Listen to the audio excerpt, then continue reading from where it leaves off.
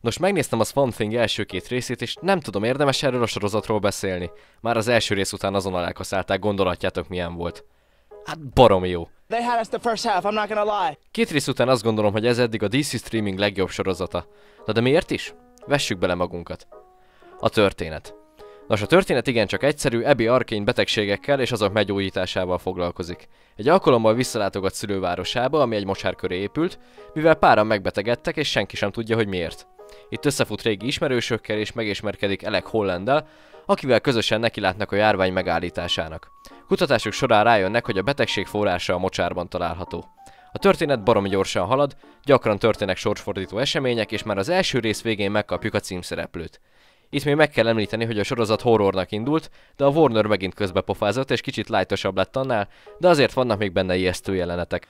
Összességében azt tudom mondani, hogy ez a történetvezetés tökéletes egy ilyen főkarakterhez és egy ilyen világhoz is.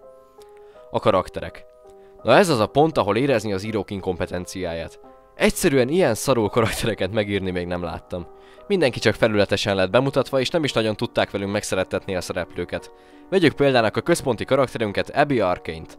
Őt úgy mutatták be kezdetben, hogy ő maga a tökéletesség. Embereket gyógyít, szereti a gyerekeket, mindenkivel kedves és még franciául is beszél. Ennek a csajnak nincsenek hibái, kivéve egyet, amivel rohadt sokat foglalkozott eddig a sorozat, mégis túl keveset, és ez nem más, mint hogy megölt valakit.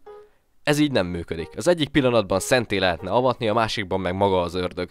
Ez nem egy kiegyensúlyozottan semleges személyiség, ez egy káosz. Elek Holland karaktere legalább vicces volt, egy szórakozó tudósként ismerhettük meg, aki messze nem tökéletes, és nem azért, mert amúgy megölt valakit, hanem azért, mert. Csak itt simán a viselkedéséből látni lehet rajta, hogy nem egy igazi példakép, mégis szimpatikus. De rajtuk kívül az összes mellékszereplőt nem hogy szarul, hanem kb. sehogy se írták meg. Külön-külön mindenkit egy szóval lehetne jellemezni, és az összes karakter közül hármat csak annyival tudnék körülírni, hogy melegek. Csak így ennyi. Nem ismerhetünk meg őket jobban, nem írtak nekik nagyobb sztorit, csak annyit tudunk róluk, hogy barátai Ebbinek és hogy melegek. De az, hogy melegek, az külön ki van hangsúlyozva, az a fontos. Most már kezdem azt érezni, hogy minél több sorozata van a DC-nek, annál több lesz a meleg karakter. A Titansben nem volt, a Doom Patrolban volt egy, itt meg már három. Alig várom a Harley Quinn-t. A látvány. Amíg az eddigi sorozatokban csak elviselhető volt a CGI, itt teljesen lenyűgözött. A Doom Patrol után féltem, hogy egy ilyen sorozatban, ami megköveteli a CGI-t milyen lehet, de kellemesen csalódtam. Lehet, hogy pont emiatt került az évad 80 millió dollárba, és ami miatt most elkasszálják. A probléma abból adódott, hogy Észak-Karolina 40 milliós adó visszatérítést ígért, ami a büdzsé fele, szóval nem igazán elég, de a papírmunkát elrontották, és csak 14-et tudtak utána ígérni, ami jóval kevesebb. Szóval az elkaszálás valódi oka a pénzhiány volt, nem az, hogy a Warner ki akar cseszni a rajongókkal. Csupán annyi a gond, hogy kevesebbet hoz a sorozat, mint amennyit kiadnak rá, illetve amennyit kiadnának későbbi évadokra.